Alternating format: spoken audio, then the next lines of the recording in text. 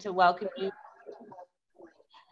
So I'm uh, delighted to welcome you to the um, School of Medicine Team Science Town Hall. Um, as you're aware, we've actually we've scaled back the COVID uh, uh, talks, um, but these are uh, version uh, 2.0 of the 1030 every Friday. They're now twice a month. Um, today we're going to talk about aging research and animal models. Um, and we have two speakers, uh, Rochelle Buffenstein, um, who is the Senior Principal Investigator for Calico Life Sciences, and then uh, William Murphy. Dr. Murphy is a professor and Rice Chair of Research for the Department of Dermatology and in, uh, and in Internal Medicine in the School of Medicine. Um, I also want to personally uh, make sure that everyone knows about the McKnight Brain Research Foundation Innovator Awards in Cognitive Aging and Memory Loss. Um, that uh, is, I believe it's a 750,000 for um, someone who already has NIH funding. Um, and um, I, for full, full, transparency, I'm a trustee of the McKnight Brain Research Foundation, and there is overwhelming enthusiasm on the part of the foundation to study cognitive aging and normal cognitive aging, normal memory loss, which I think we're going to talk about here today. Angela, do you want to present the slides? Um, about the sure um, um, but actually i i um i made a little um uh tweaking um so i'm gonna share the screen. Uh, if if you could ana lucia or anu allow me to to share uh, just just a very brief presentation to introduce our speakers and the subject um, today. So let me see. Okay i can share now and um, sorry. Yes, so we selected aging um, research to showcase today because in the past century, as our um, ages exponentially increased, the age of humankind, the lifespan of humankind, uh, we are focused on how to be also healthy, not just to live longer. And um, we believe that um, interdisciplinary research is very much helped with um, the utilization of animal models.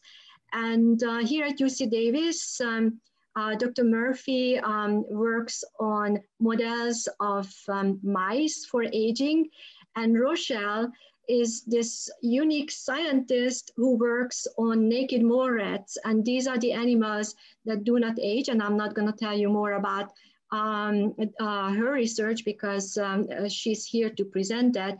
But what I wanted to show here, and I don't know if you can see, I just Angela, yes. You're you're not in um you're we see this just uh not you're not in presenter mode. Okay, sorry.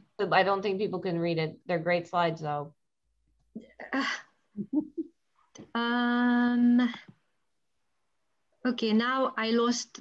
Can you see me? Can you see my slides in no. present, Mona? Um, I think you have to share your screen in, or you share whichever desktop you're using. Yes. Is this any better now? No. No, you need to reshare or uh, Anu, do you want to pull them up for? Yeah, they're not up at all now. Stop. There you, uh, okay, perfect. There you go. Thank you. Okay. Ah, great. Yes. So Anu, can you skip to the next slides to make it uh, a bit shorter? Because I think the bottom line is really on the bottom line on the right lower corner. In the past five years, UC Davis has amassed over a $100 million on aging research. And I think we should capitalize on that and take courage and continue collaboration and apply for grants, especially the one that Alison just brought up. Can you uh, bring up the next slide for me, Anu, please? And we have some uh, stellar researchers on aging um, who are our um, uh, top uh, grantees, including Rachel Whitmer, Dr. Charles DeCarli, uh, Gino Cortopassi, John Olichney, and, and um, Kumar Rajan. And they actually contributed to the greatest proportion of the grants that, um, that I mentioned before. And if we can go to the last slide, please. Yes, so this is just a list of upcoming grants that we would like to encourage all the uh, attendees here to, um, to tackle. The letter of intent for the McKnight Foundation is due um, July 15 and full grant proposal will be uh, due um, in August. And there are additional um, awards, emergency award uh, due November 19 and um, uh, National Institute of Aging um, award on advancing diversity in aging research through undergraduate education. You, um, it actually, it's open, it's rolling, it's um, open until um, 2023. Uh, also research infrastructure development, if necessary, and aging research dissertation for trainees, um, if necessary. These are rolling awards open until uh, 2023. So with this, I would like to close and um, would like um, our speakers to, to start their um, presentations. And um, I'm hoping that there will be a lively discussion afterwards and we would inspire some collaborations to spark. Thank you.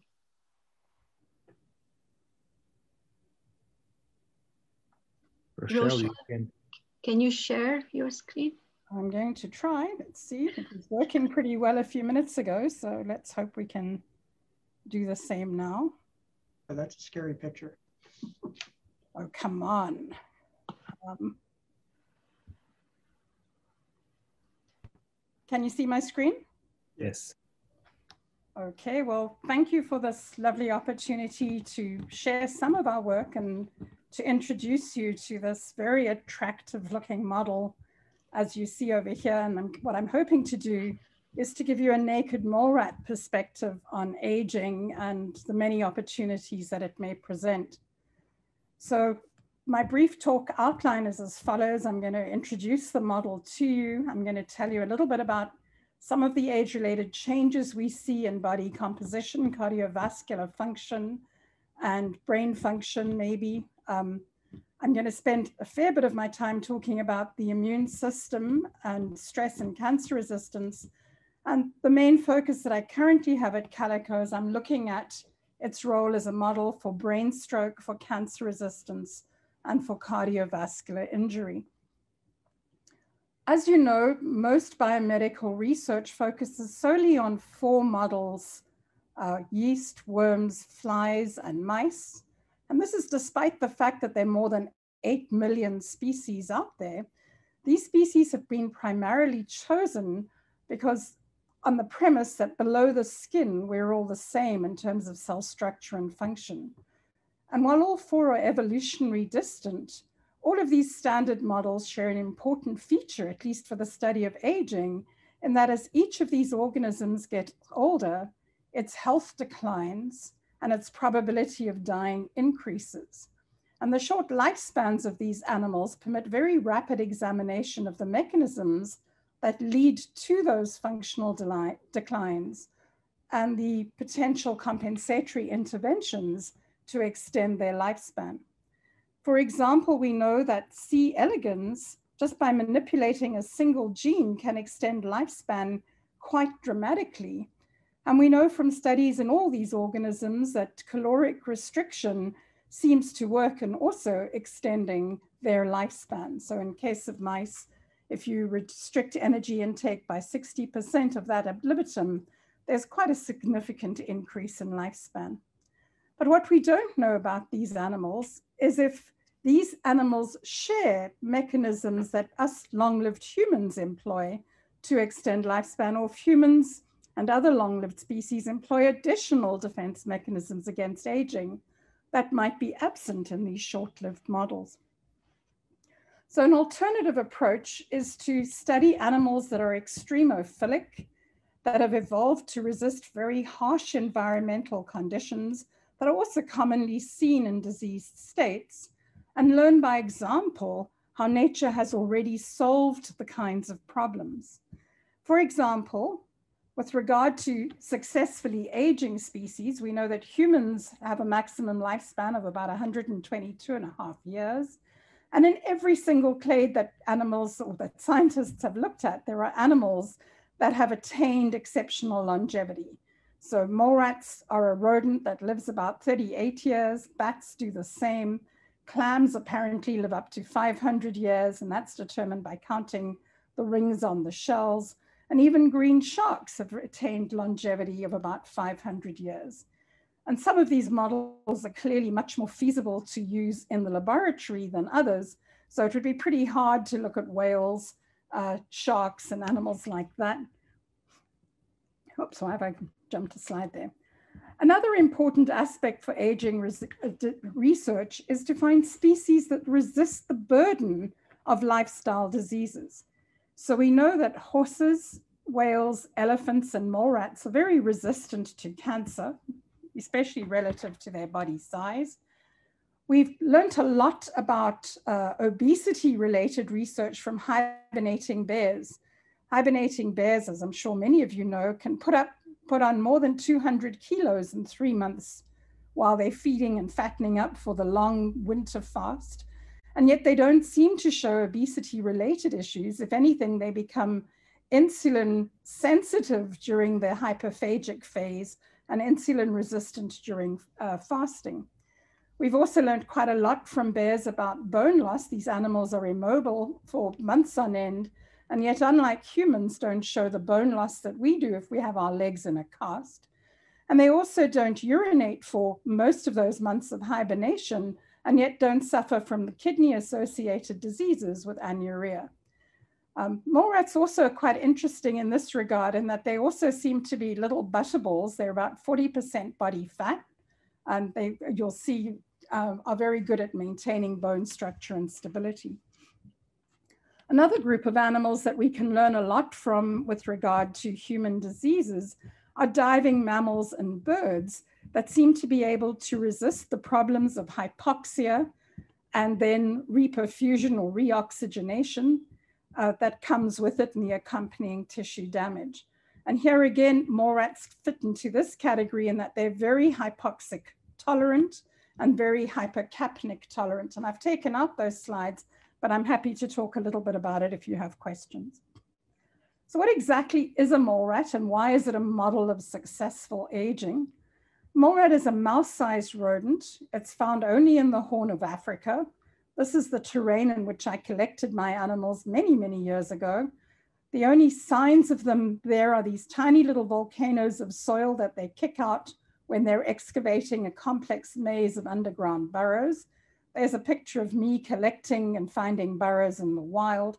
And their burrow system may extend several kilometers in length and two meters in depth. They're very clean animals. They have toilets or latrines scattered throughout the colony. One year their nest area, others scattered throughout. They never go really onto the surface.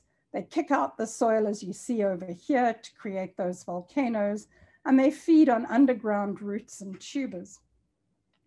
Their nearest relatives that you will know of are the guinea pig, which they diverged from about 39 million years ago.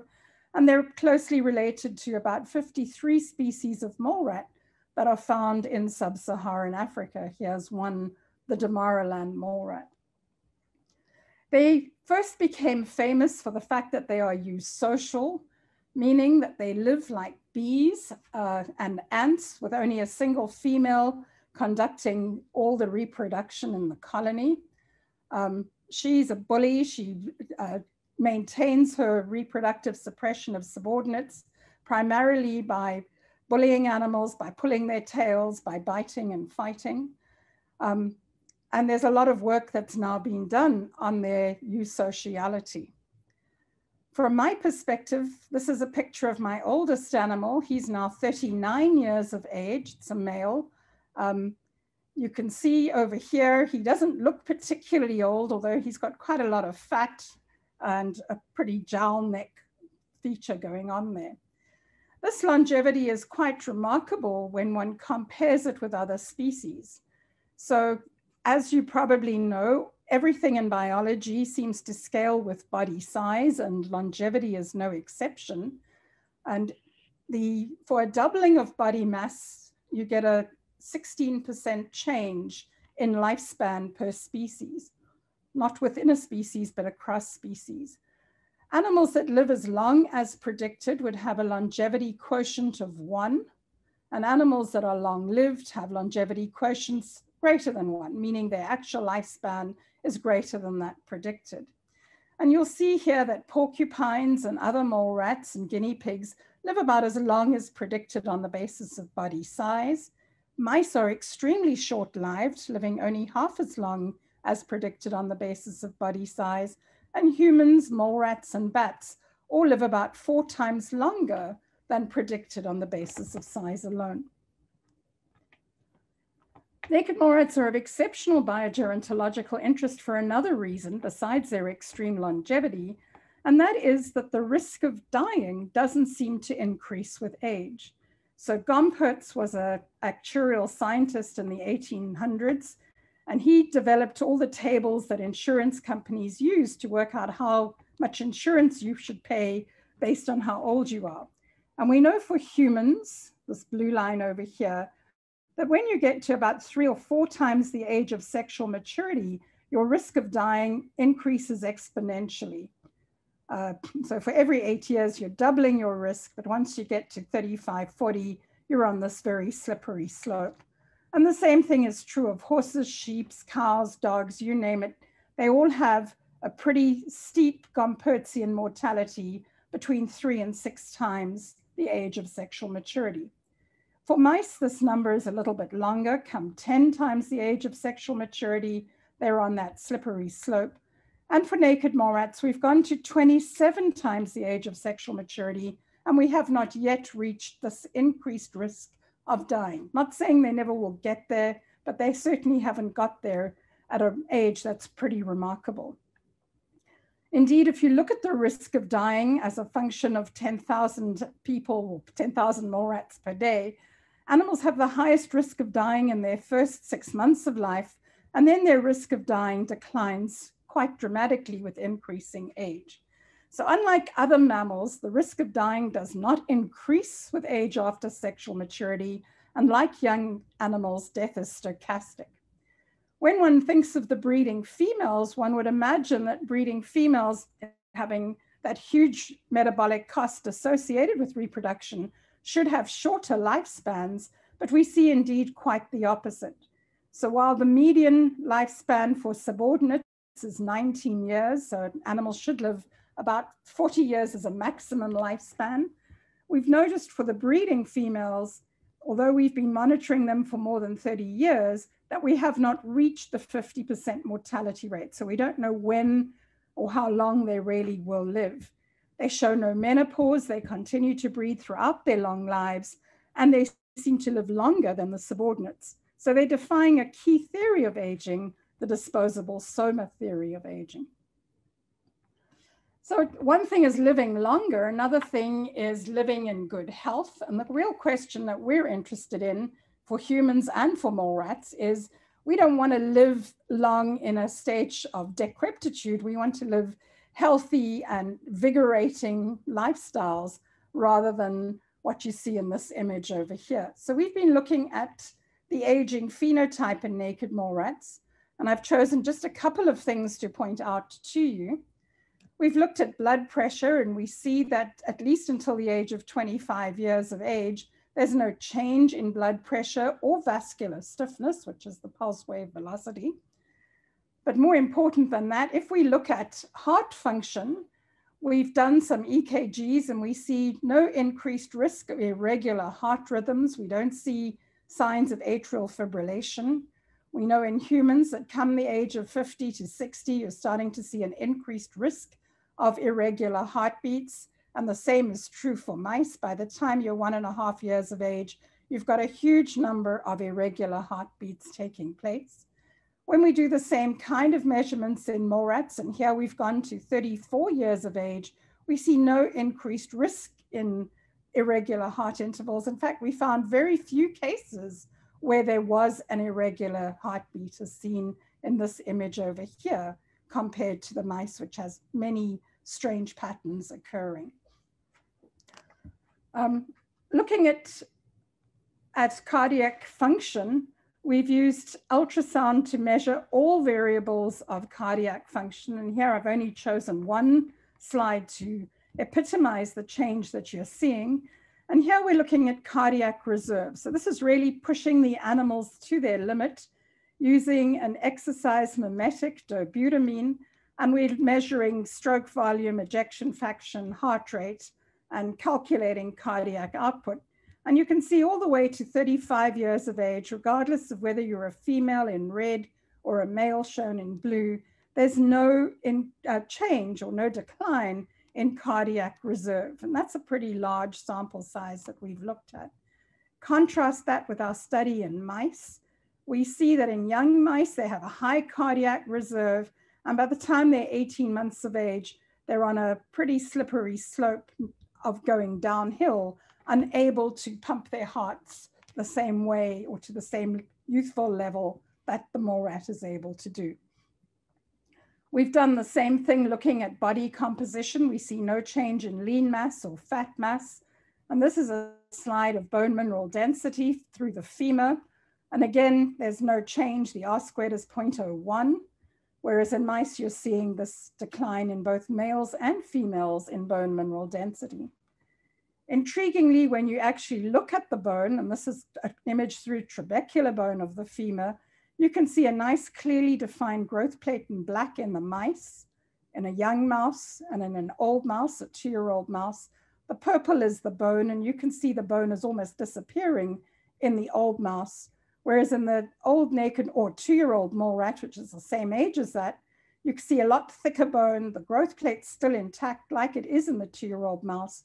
But look at a 24-year-old mole rat, the bone is completely resorbed as is extensive bone remodeling in much the same way there is in humans. We've looked at many other variables as well. Here's an example of the thymus. In the case of the mouse, the thymus declines very early in life and then stabilizes as it involutes. Mole rats are born with much smaller thymuses. They enlarge for the first couple of months of life, which is a big difference with the mouse. And then they maintain constant size throughout their lives, but it's much smaller than what you see in the mouse. We do see a few signs of involution with fat infiltration, but nothing like what you see in the mouse. We also looked at the immune system of the mole rat and found other striking differences with mice. Here's some H&E signs, uh, slides, and you can see the spleen from a mouse and a naked mole rat. The purple is the white pulp where the T and B cells are, and you can see mice have much larger areas of these white pulp compared to the mole rats.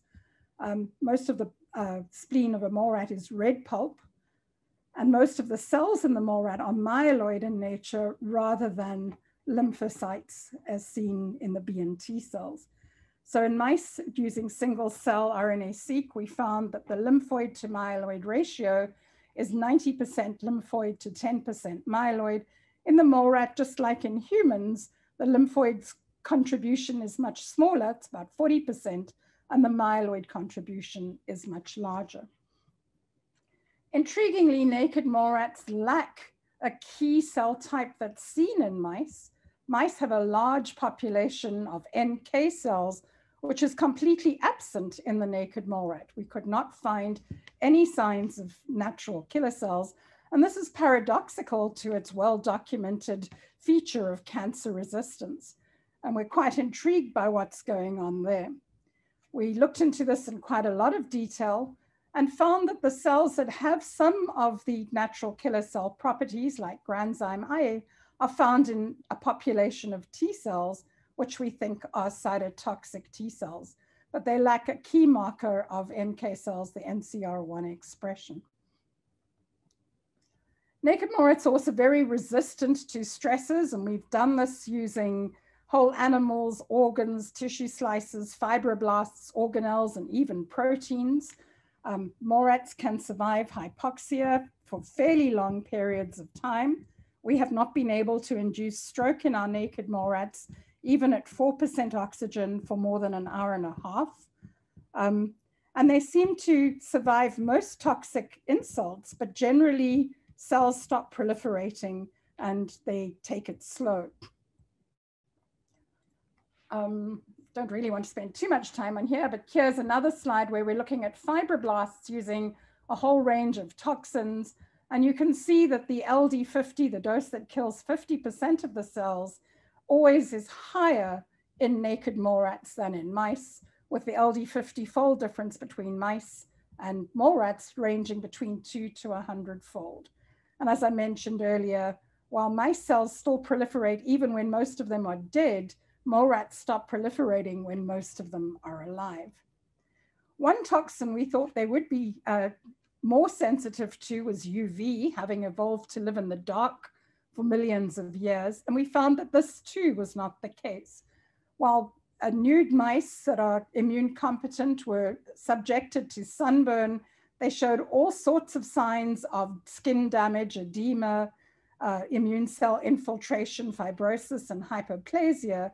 We saw no signs of real tissue damage in the naked mole rat, and we did some tissue injury scores to show that. We continued with this treatment. This was just a one-off treatment at different time points post-injury, but we continued treating them twice weekly with this high dose of UV for six months. And while the mast cells showed even greater signs of hyperplasia and immune cell infiltrate, we saw no change in the mole rats, while the mouse cells developed little papillomas and ulcers and, and lesions, there was no tumor incidence at all seen in the naked mole rat, whereas all the mice we had by week 15 had tumors of some sort. We did proteomics on this and we found that mole rats are very much more responsive. Within two hours of exposure, we see differential expression of proteins in the mole rat, but not in the mouse. Whereas after six months of exposure, the mouse shows many more changes in proteins compared to the mole rat. Intriguingly, the mouse shows big changes in immune system function and a decline in fatty acid metabolism, whereas the mole rat seems to be upregulating all the tumor suppressor proteins and seems to be decreasing amino acid metabolism and protein synthesis. And that was epitomized in this change in signaling pathway seen over here in the six shared pathways between the mouse and the naked mole rat. In the case of mice, the AKT signaling pathway goes up as more proteins are being made. And in the case of the mole rat, this, this pathway seems to go down. And this is all driven, as you know, or some of you know, by PTEN, an important tumor suppressor protein. And we see that mole rats have this increase in PTEN and maybe, and have many copies of this gene as well. And maybe this participates or contributes to their incredible stress resistance. Finally, we uh, took some cells from naked mole rats and mice, and we transformed them using SV40T antigen and HRAS. And we implanted these uh, transformed fibroblasts into immune compromised mice and back into the naked mole rat from which the cells came. When these were implanted in mice, all of them formed tumors. Some of them grew more slowly than others, but in the end, all did. When we implanted them back into the naked mole rats, by day 14, they'd formed fairly large tumors that were palpable, hard, and measurable. But by day 39, those tumors had spontaneously shrunk and disappeared completely. And we're very interested in trying to find out if this is due to some unusual cytotoxic T cell or whether there is some other cause for this loss of tumorigenesis in the naked mole rat. And then my last slide just looks at some of the molecular mechanisms that we've been trying to get a handle on to get an idea as to what are the mechanisms naked mole rats use that might enable them to live so long and reduce the stress of lifestyle diseases. We've got lots of indications that there's a well-controlled genomic stability, proteomic stability, and oxidative stress response. I've hinted briefly at their cell cycle mechanisms that they switch off very quickly uh, when situations are very stressful. And so to summarize my very rapid little talk here, I hope you'll see that naked mole rats maintain a youthful phenotype throughout their life. They have a very low incidence of cancer and other diseases. They maintain youthful-like response to stresses. Surprisingly, they lack natural killer cells, but that doesn't seem to be a problem. And they seem to give us an indication that long-lived species likely employ different or additional mechanisms to those of short-lived species. And if we can identify what these mechanisms are, they will have very far-reaching application. With that, I'd just like to acknowledge my collaborators and sources of funding and take any questions that you may have. Thank you, Rochelle. Wow, we are we are completely uh, speechless. Uh, this this is fascinating, but I, I, do have a couple of questions. Uh, one from Andrew uh, asking, so what do these animals die of?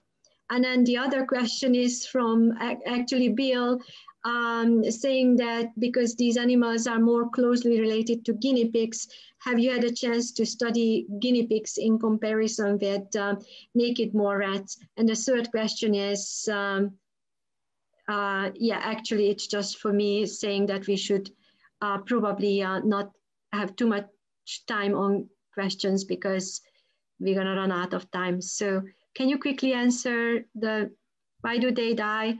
And have you done guinea pigs? Yes, so I can answer the guinea pig question first. We've done a fair bit of comparison with guinea pigs and Damaraland mole rats. The thing that worries me about them is that they're much larger, and we know that everything correlates with body size.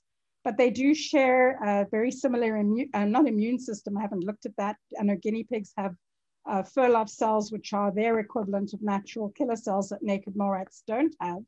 And they show a very similar insulin and glucose tolerance to what we see in the naked mole rat. So usually, although I've only shown mice and naked mole rats here, if I find something interesting, I go back and do it in 10 different species of rodents to try and see if this is a conserved general mechanism. Does it correlate with species lifespan? And I try and keep it within animals of similar sized mass. What animals die of is a million dollar question that I still can't give you an answer to, despite the fact that we've done many necropsies, because we keep them in a fairly hot room, they rot very quickly. Uh, the veterinary pathologists, Denise Emai at your institution being one of them, tells me they have periodontal disease. And I think that's always the last sign when an animal stops eating, the bacteria in their mouth go a little crazy and you start seeing signs of periodontal disease. I don't think that's what kills them, but they always show that when they're in their final stages of their life. We usually just find them dead. We've had one case where we think they've had a heart attack. We've had five cases of cancer, and we've seen quite a few signs of kidney disease, but we don't know what exactly killed them. Thanks so much. So um, um, we have another question from Paul uh, regarding NK cells, but let's discuss that after uh, Bill's presentation. So uh, Bill, could you put up your uh, presentation, please?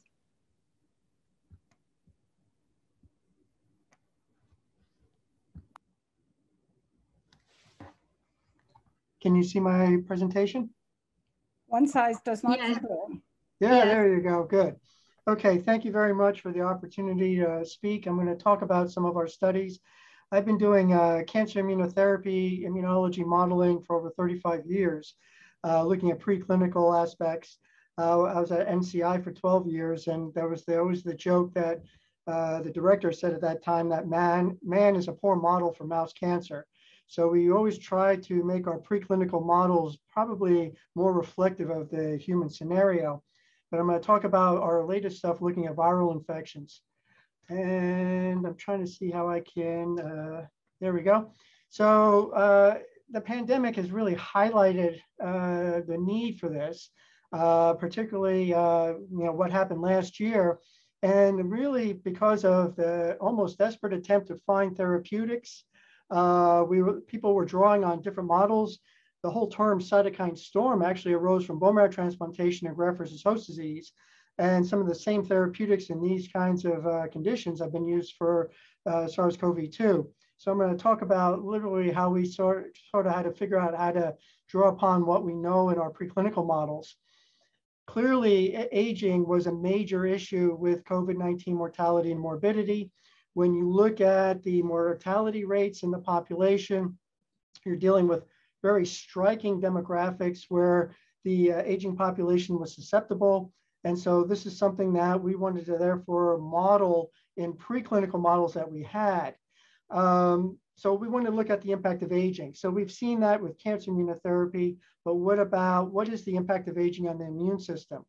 As an immunologist, uh, the immune system to me re represents the epitome of personalized medicine because within the same individual over time, it is constantly being challenged and changing and aging itself without any challenges changes the immune system uh, as you sort of, as you could tell from the previous talk, which was outstanding.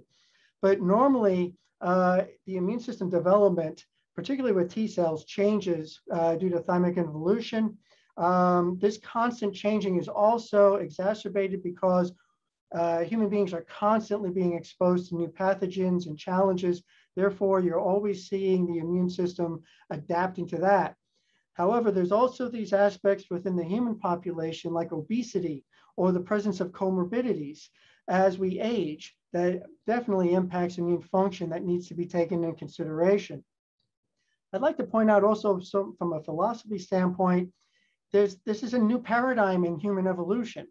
You know, you know before the advent of antibiotics and vaccines, uh, the human uh, species never had really this kind of opportunity to have this prevalence of advanced age uh, population expanding. I'm talking greater than 60, 70 years old, but also uh, the population density is increasing and then also travel accessibility. That means we're constantly giving new pathogens back and forth which in our species as we evolved really didn't have that same kind of uh, emphasis. And therefore the immune system had evolved in the sense of once you reach a certain age, what you were exposed to was pretty much going to be good enough to keep you around for the life of uh, you know your being. And that's totally different now. And so, and that's you know because of the thymus is really highlighted by that. Um, you hear this word a lot, inflammaging. And the alterations of the immune system with aging affects every arm of the immune system.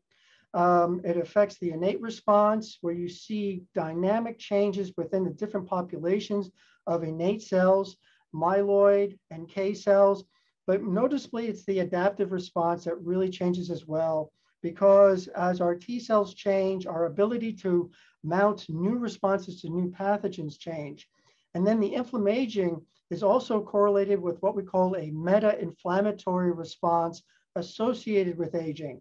And that means we have a hyper-inflammatory response, partly due to myeloid dysregulation, but also keeping in mind as we age, there's an increase in uh, adipose tissue, decrease in muscle mass. So it's a culmination of these kinds of conditions that totally change the immune landscape.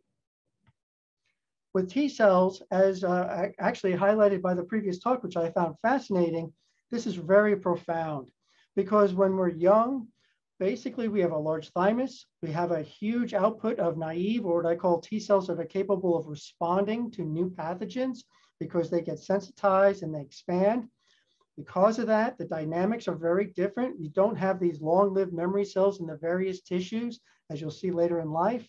And you see very robust immune responses to new pathogens. However, with time and antigen challenge in an older person, because the thymic involution starts early after adolescence, the thymic involution causes minimal new T cell output. So what you have is pretty much what you are going to have for the rest of your life, for the most part. The thymus was never geared to produce constant new supply of T cells, and this changes, therefore, the naive memory ratio and you see these now T cells residing in various tissues where they're called upon to act. Um, but this also means there's impaired primary responses. That means new antigen responses. And this has been well documented with influenza vaccines and other vaccines. And this is part of the problem. Part of the other problem is the mouse model that we use. This is from Jackson Laboratories. The vast majority of preclinical studies use two to three month old mice. Why? Because they're cheaper. They're $26 an animal. But that's basically equivalent to an upper adolescent. What we really need to be looking at is the elderly model because that is our demographic. And that means you have to use mice that are older. And actually, as mice become more cleaner, they're living longer and longer. And we need to actually move that bar. The problem is a 24 month old mouse is about $500. And so you can see it's really a, a, major impact in trying to do preclinical studies. We actually looked at young versus old mice, looking at this uh, T cell repertoire, and we find that yes, young mice, most of the T cells are naive. That means they're ready to go. However, when we look at an old animal, it's completely inverted. That means you have less of a naive pool to draw from, and you get more memory cells that have to do the business end. And these may be to antigens that are irrelevant to uh, like tetanus and other things that may not help us to a new viral pathogen. So we wanted to use a primary mouse infection model to study age-related immune responses. Why? Because when the virus caused everything to shut down last year, I had 22 to 24 month old mice that I was going to use in cancer studies. And instead we went with viral infection because we figured the similar paradigms could exist that maybe we could draw some inferences from. So the model we use is cytomegalovirus or CMV. It's a fantastic virus because it's got broad tropism. It's very high clinically relevant. It's, uh, it's very prevalent. Almost every species that gets infected by it, it's got strong adaptive and innate uh, responses. And more importantly, an acute uh, CMV infection can uh, cause massive lung pneumonitis and lead to death, as well as liver effects. So provided a nice model. We use a mouse model it's MCMV. Its resistance is very similar, similar pathogenesis to the human scenario. And you can see in the right, you get initial toll receptor engagement, inflammatory cytokines, you get innate pathways, then ad adaptive pathways. So it represents a very nice model. And the tools are there that we could use where we keep everything the same, except one mouse is very old, one mouse is very young, but they're genetically identical. And more importantly, we can track the virus-specific T cells with tetramers. So our hypothesis was similar to people, advanced age mice will be more susceptible to MCMV infection, uh, possibly due to immunosuppression and reduction of the naive T cells, and then mirror, uh, this will mirror what we're seeing in other viral infections. So all we did was we take a young mouse and a very old mouse and we infected them with the same dose of virus. And then we looked for survival, pathology, immune phenotype, and we looked at various other parameters, including viral resistance, which we can measure by titers. And what we found is using a dose of virus where all the young mice look fine and they clear the virus, the old mice showed rapid mortality affecting greater than half of them. So we're seeing right away a big difference. And this difference was very important because what we saw, similar to other viral infections, was looking at the lung. These mice were dying, they had rapid breathing, they were dying uh, from lung pathology. You can see the difference right there using the same dose of virus. And when we looked for it by immunofluorescence for apoptosis, that's the bright yellow, we saw increased apoptotic uh, events in the lungs of the aged mice. So we're definitely seeing a very big differential due, due to aging. So what was going on? Well, similar to SARS-CoV-2 and actually even cancer immunotherapies, we saw cytokine storm. When we looked at interferon, TNF, and IL-6, the aged mice, while they were dying, we saw massive cytokine production, pro-inflammatory cytokines, and this correlated with the uh, reduced survival. Importantly, we also then looked for virus-specific T cells in the young versus old, and again, we consistent with what we expected, we saw that the old mice had markedly reduced numbers of adaptive antigen-specific T cells, and this correlated with reduced survival. However, this was very surprising to us because despite the increased mortality, pathology, and reduced virus to specific T cells, we saw actually the viral titers in the uh, old versus young were comparable. So what that was telling us is that it wasn't the virus that was actually causing the increased mortality and pathology and death. The viral infection was comparable, except the old mice were dying. And so what this was telling us is that we actually have a model where we can distinguish between immune-mediated pathology versus viral pathology. And that immune-mediated pathology following viral infection is exacerbated by advanced age. And this is mirroring what we are seeing in both acute SARS-CoV-2 as well as other conditions in which in the aged population, there is this cytokine dysregulation, cytokine storm, and it's actually being seen also in younger people, uh, particularly with obesity, that can also cause significant pathology. It's in the mouse model where we can control for everything that we can say it's not due to increased viral load because the viral load was different. This is actually immune pathology. The body doesn't know what it's going to be able to use to respond against a pathogen. It just uses what it has. And unfortunately, as we age, the dysregulation can cause more deleterious consequences than even the infection. So this actually then correlates very nicely with the cytokine storm and reduced adaptive T cell processes. However, what's fascinating is the comparable viral resistance suggests either this increased innate or cytokine storm is allowing for compensation, or even that little reduced amount of T cells that we're getting is sufficient for controlling the viral uh, infection in these mice. So if we want to take a take home message, if we start looking at viral induced pathology, there's two arms. There's the immune mediated pathology, the immune system run amok, and then the virus mediated pathology. With obesity and aging, I don't have the time to go into it, but we see the same parallels, even you looking at young obese mice. We see cytokine storm, and what dominates the response is increased immune mediated pathology and, and, and death. However, you do need the immune system because if you don't have the immune system, and we have studies looking at immune deficient mice, you actually see then the virus wins and because of in increased viral replication, dissemination, and pathology. So there is a balance between needing the immune system, but also controlling the immune system.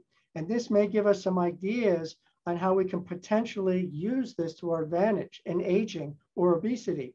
If we can control the innate response, we may be able to obviate or suppress the immune-mediated cytokine storm pathology.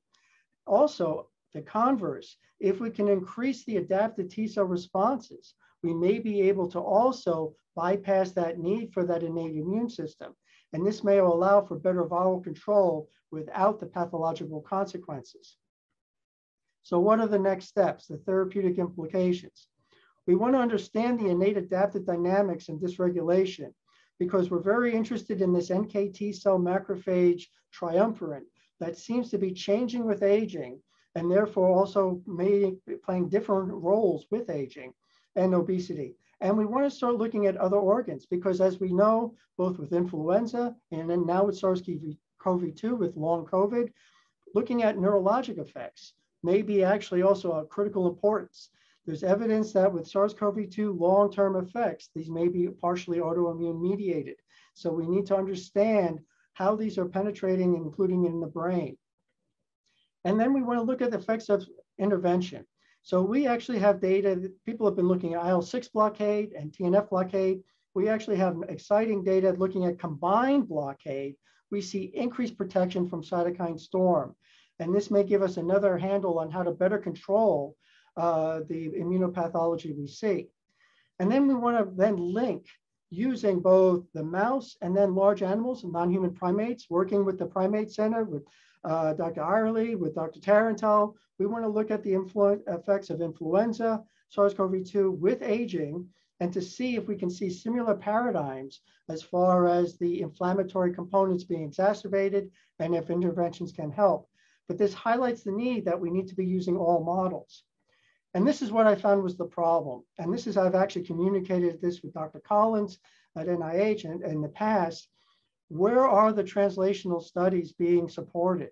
Because despite this worldwide significance and severity of the pandemic, if you actually go on the NIH data websites, there's a paucity. It's actually, there's almost very little NIH initiatives that are actually used to look at viral infections, whether it's SARS-CoV-2 or even other viruses like this, as well as the vaccines, using these aged, obese, autoimmune models. And these can give us critical insights outside of relying on clinical parameters, because as we know, basically this week, it's just been reported that cardiac events in young people, young men, have been noted. So these, these initiatives right now, if you look at them, are primarily clinical.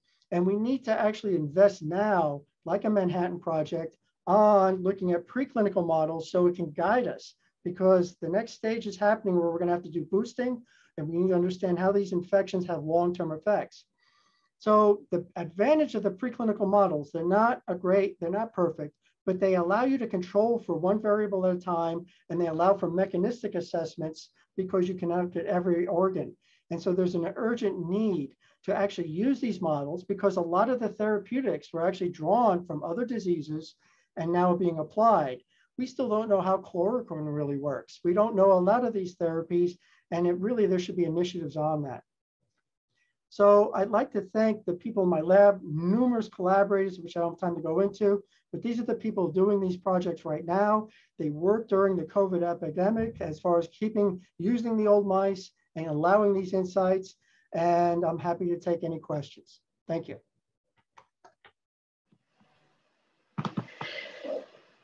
Wow, this was also excellent and so well related to Rochelle's uh, uh, talk. And I think both talks sort of uh, threw up the idea of the innate immune system and its significance in regulating a lot of the um, uh, disease processes, including um, uh, over-inflammation or exaggerated inflammation inflammaging and auto-inflammatory and systemic inflammatory diseases. And actually, there was a question that um, I passed over from, um, from Paul Lucy regarding uh, NK cells that, um, that Rochelle addressed, but I, I would like to discuss it a little bit. Paul, would you like to uh, um, ask out your question? Um, no, go ahead. Thank you for picking up on that. Go ahead. yeah, so um, I think the question was that um, did red progenitors not evolve NK cells or NK cells are lost during evolution into the modern mole rat? And actually, um, I think Rochelle's response was that it looks like it's an evolutionary uh, loss and there are just um, guesses what other cell type would take over the um, the NK cell uh, function in antiviral and um, and anti-cancer um, immunity.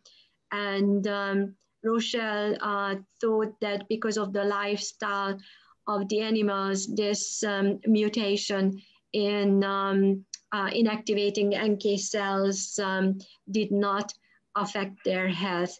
So apparently there is, um, there is hope that um, the immune system is versatile enough to compensate for one or two of the, of the disabilities. But I, I think much more research will need to be done in regards um, to the aging of these, um, these uh, cell types. Um, Steve um, Maxoli asked if um, the lower CMV specific T cell response also observed in the lung tissue. That, that uh, question is um, for um, Bill. Is the low expansion due to the fact that these mice have fewer naive precursors or just inherent low proliferative capacity of aging? Well, that's a really good question. I think it's more a standpoint of having less naive repertoire. Um, and because from a proliferative standpoint, they seem to be fine. And we've actually been looking at anti-PD-1 to see if we could augment uh, an effect. So I, I, think it's two things. One is there's less of them that are capable of responding to a high site. We've published on this and others, just like with LPS-induced paralysis, you actually see a paralysis of the immune system under high inflammatory uh, components because of uh, SOX uh, induction, and we published on that as well. And so part of the problem is the immune system is always paranoid about autoreactivity. And so whenever you have this dysregulated inflammatory toll engagement uh, response, some of the T cells will actually shut down. So I actually think it's a combination of less and then they're being suppressed. Uh, and that's actually going to cause either further impairment down the line. And um, uh, Satya had a, um, a really um, excellent point um, saying that um, there is a parallel um, in processes during viral infection and, and aging. And in fact, in aging people, viral infection has an additive effect. I, I, don't know if, if you want to elaborate a little more on this, Sacha. Uh, Bill, that that was terrific presentation and absolutely, you know, hits home with current crisis.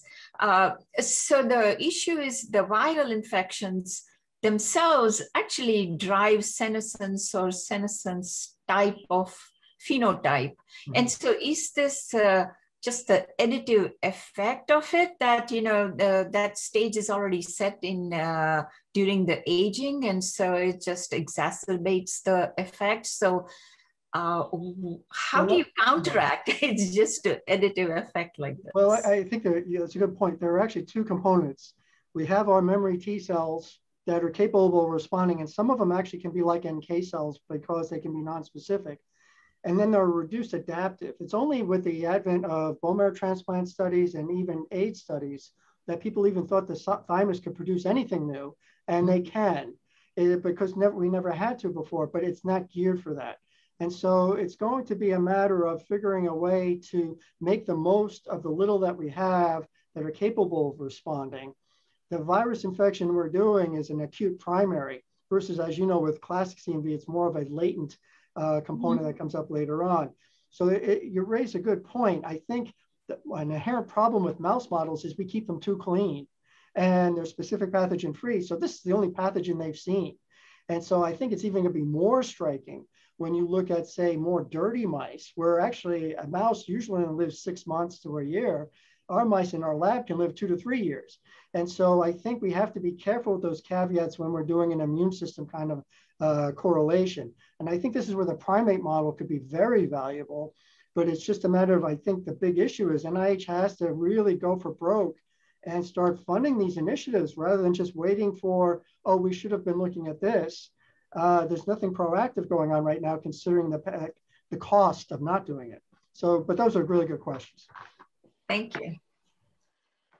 Yes, and uh, Rivka uh, just remarked that both uh, presentations uh, were fascinating. So, so thank you so much. And I, I do see um, uh, Carter here, and, and I think we cannot um, close an aging session without mentioning that uh, for a very, very long time, the first time just a couple of days ago, um, FDA approved a new um, Alzheimer um, disease drug, Aduhelm. I'm not really um, sure what exactly the, the mechanism of action of, of that drug is, but but can, if I may ask, do you think these animal models and our um, stipulation on inflammation and, um, and aging would have a relevance to cognitive aging?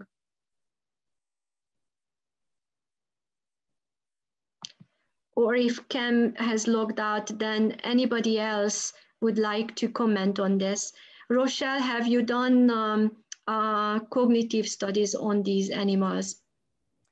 We haven't done cognitive studies per se, but we have looked at beta amyloid and tau in the naked mole rat brain as a function of age. And intriguingly, the, the mole rat never seems to read the textbook and always makes me scratch my head even young naked mole rats have higher levels of beta amyloid and tau in their brain than old triple transgenic AD mouse models. And that makes me wonder if beta amyloid might not be protective. And the reason you see it in plaques and tangles is that the AD kind of symptoms have now overwhelmed um, the protective mechanisms possibly created by beta amyloid and tau. So we published a couple of papers on that a few years ago, uh, starting to look at that. That was while I was still in Texas before I came to California. Yes, so I, I, think that would that would break the, um, the dogma, and um, uh, it's very intriguing and should inspire a lot of collaborations. With, with this, I would like to close our um, session. Thank you everyone for logging in Um, I think this, this was um, a great, great opportunity to think about how uh, we approach aging. And thank you so much for both um, Bill and Rochelle for the very thoughtful uh, presentations and for keeping the time. It was really fantastic. Thank you so much and have a good weekend, everybody. Thank you. Thank you.